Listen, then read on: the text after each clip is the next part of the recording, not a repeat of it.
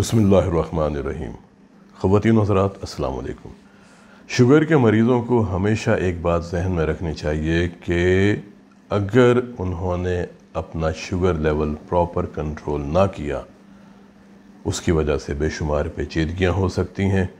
Sugar को कहा जाता है उम्मुल अमराज।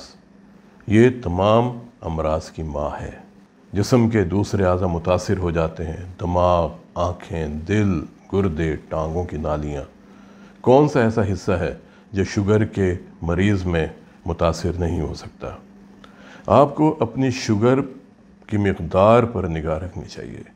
नाश्ते से पहले आपकी शुगर, कोशिश करें कि 100 मिलीग्राम पर डेसीलीटर से ज़्यादा ना हो। 110 तक एक्सेप्टेबल है।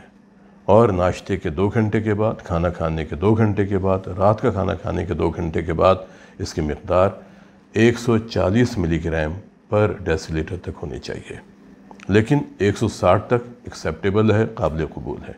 अगर आप शुगर के मरीज़ हैं और आपका सांस फूलने लगता है, आपको कमज़ोरी होने लगती है, आपको घबराहट होती है, बेचैनी होती है, मतली होती है, उल्टी होती है, शदीद कमज़ोरी का एहसास होता है तो कभी भी इसको नज़रअंदाज मत करें अगर आपका शुगर लेवल नॉर्मल है। फ़ौर किसी हस्पताल में जाएँ और वहाँ जाके डॉक्टर साहब को अपना पूरा चेकअप करवाएँ, क्योंकि शुगर के मरीज़ों में ये तमाम अलामत एंजाइना या हार्ट अटैक की हो सकती हैं। अगर इन्हें नज़रअंदाज कर दिया जाए तो खुदा न खासा कोई मिसैप हो सकता है। मुझे याद हैं वो मरीज़ जो एक दूसरे सूबे से मेरे पास आते थे। जब वो सुबह उठे, रेगुलर वॉक पे गए, आके नाश्ता किया नाश्ता करने के बाद सो गए। तकरीबन 11 बजे उनको मतली का एहसास होता है। वो वॉमिटिंग करते हैं और फिर वॉमिटिंग लगातार शुरू हो जाती हैं। अब वो मुझे फ़ोन करते हैं कि मैं यहाँ पर हूँ और आप लाहौर में हैं, बताएँ मैं क्या करूँ? मैंने उन्हें कहा कि आप फ़ौर जो आपके नज़दीकी दिल का अस्पताल है, आप वहाँ जाएँ और अपना चेकअप करवाएँ। जब वो हस्पताल गए, उनका मुआयना किया गया, उनकी ईसीजी की गई, उनके खून के टेस्ट लिए गए तो मालूम यह हुआ कि उनको हार्ट अटैक हो रहा है।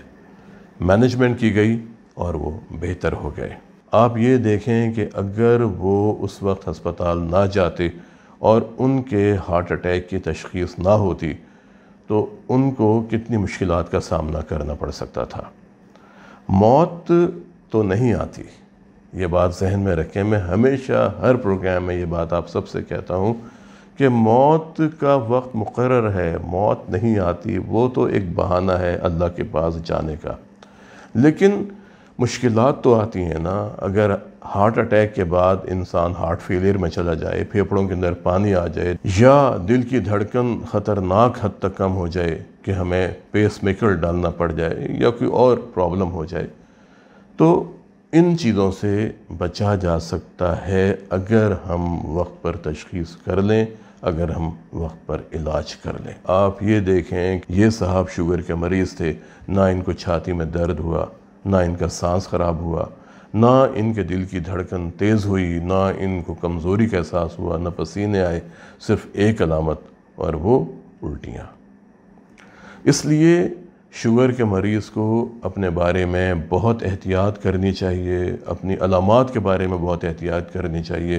कोई भी गैर मामूली अलामत अगर आपको महसूस होती है तो आप अपने फैमिली फ़िज़िशन से रबता करें। फैमिली फ़िज़िशन मुनासिब समझेंगे तो वो या तो ख़ुद इलाज करेंगे, आपको दवाएँ दे देंगे, या वो सेकेंडरी टर्शरी केयर हॉस्पिटल में आपको रेफ़र कर देंगे, जहाँ पर आपका प्रॉपर इलाज हो सके। लेकिन ये बात आप पर मुनसर है।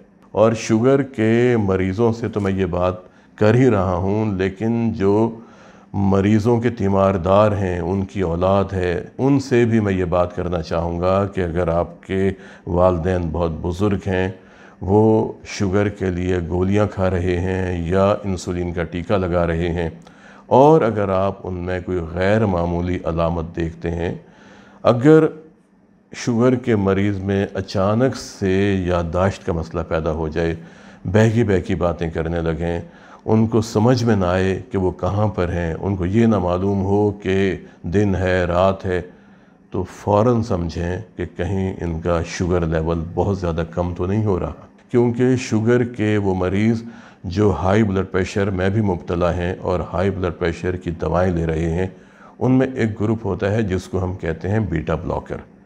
अगर वो बीटा ब्लॉकर ग्रुप की दवाएँ ले रहे हैं तो उनमें बाज़ात शुगर कम होने की वजह से जो अलामत होती हैं, दिल की धड़कन की तेज़ी या पसीने का आना, वो इन मरीज़ों में नहीं होती और ये लोग खामोशी से हाइपोग्लाइसीमिया में चले जाते हैं। बजाय इसके कि घर में अफरा तफरी पैदा हो, आप लोग परेशान हों अपने आसाब को मज़बूत करें फ़ौर उनके खून में शुगर की मकदार चेक करें।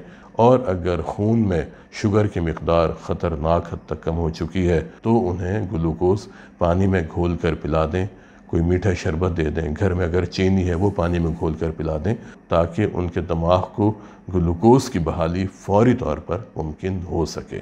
घर में एमरजेंसी की सूरत में सबसे अहम बात यह है कि आप लोगों ने परेशान नहीं होना। अपने हवास को कायम रखना है, क्योंकि अगर आपने भी अपने हवास को खो दिया तो मरीज़ का फिर क्या बनेगा? हम कितने लोगों से मिले हैं जिनको घर में कार्डिक अरेस्ट हुआ, लेकिन उनके घर वालों ने उनका सीपीआर किया और अल्लाह ने उनके दिन रखे हुए थे और वो इस दुनिया में वापस आ गए। मैं शुगर के तमाम मरीज़ों से ये बात कहना चाहूँगा कि आप अपने शुगर की मकदार पर निगाह रखें, अपने वज़न पे निगाह रखें, अपने खाने पीने की आदत पे निगाह रखें, बाज़ार के खाने छोड़ दें, Seven Up, Pepsi Coca Cola इस तरह की जो ड्रिंक्स हैं, इनको पीने से ख़ुद भी इज्तनाब करें और अपने घर वालों को भी इन सोडा ड्रिंक्स से बचाएँ। बाज़ार में जंक फ़ूड मिलती है, डब्बे वाली खुराक मिलती है यह आपकी सेहत के लिए बहुत नुकसानदेह है। जितने सादा खाने आप खाएँगे, आपकी खुराक में सब्ज़ियाँ हैं, आपकी खुराक में फल हैं, आपकी खुराक में अगर देसी मुर्ग है, अगर आप गाँव देहात में रहते हैं, वहाँ पे देसी मुर्ग आसानी से मिल जाता है, या दरियाई मछली अगर आपको मिल जाती है, ये आपकी सेहत के लिए बहुत मुफीद है। अचनास जौ, जवार, बाजरा, काला चना, मकई सोयाबीन ये आपकी सेहत के लिए बहुत मुफीद हैं।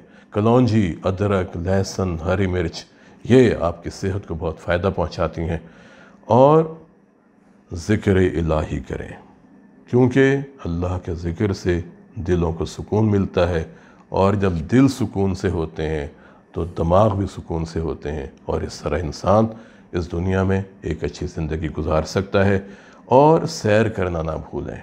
रोज़ाना क़वत बर्दाश्त के मुताबिक सैर करें और कोशिश करें कि आपके दिल में इंतकामी जज्बा ना हो, हसद ना हो, कीना ना हो बोझ ना हो, झूठ ना हो। अगर दिल इन तमाम चीज़ों से पाक है तो आपकी रूह भी पाक होगी और आप एक बहुत अच्छी ज़िंदगी गुजार सकेंगे इस दुनिया में भी और आखिरत में भी।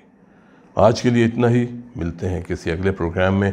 एक नए मौजू के साथ अपना और अपने ख़ानदान के अफराद के दिल की सेहत का बहुत ख्याल करें और कोशिश करें कि ज़िंदा रहें एक मज़बूत, सेहतमंद और तबाना दिल के साथ।